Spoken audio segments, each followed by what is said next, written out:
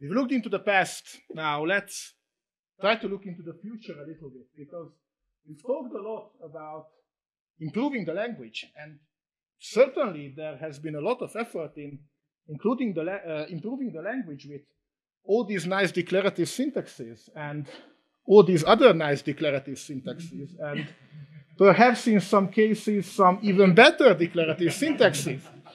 And I mean, I guess we all like the STL. I mean, that's what makes C++ very special to every developer, not just C++ developers. You have to know this if you want to speak to us.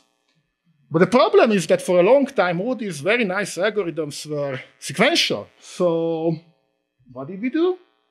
Um, we came up with ways to, to use all the nice uh, computing power that we've got over the decades and sometimes in a very ugly way, but then clever people came up with more um, nice looking versions for roughly the same thing, let's say. Now, here's a very um, famous example, shall I say. So let's just compute the sum of squares. And well, there is this very nice function called accumulate, which where you can, you know, specify what's your operation.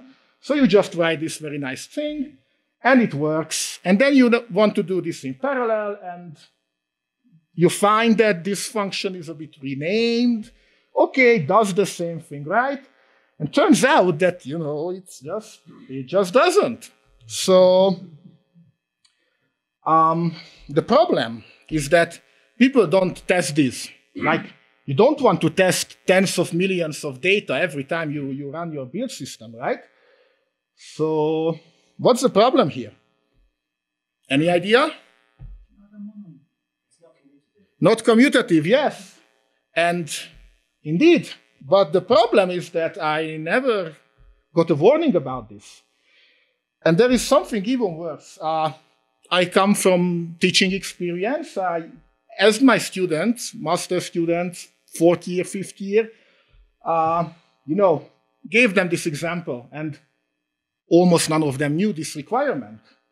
So what we did is that even though you can switch around your code to split out the non-commutative part and, and the, the addition, uh, this will still not warn you. And commutativity is a hard problem. So if you are interested, nice academic conferences are very much awaiting you. But instead what we did with one of my students is to create a wrapper library.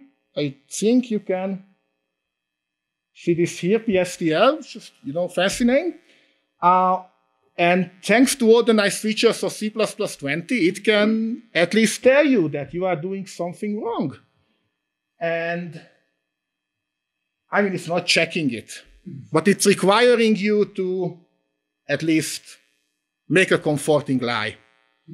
now, I, the code is with my student. I plan to get it from them and put it somewhere publicly available. But, you know, as long as you don't attest, I think this is commutative, it will at least not let it compile you. And if you understand what commutativity is, maybe you will just think for a moment when you get these nice error messages.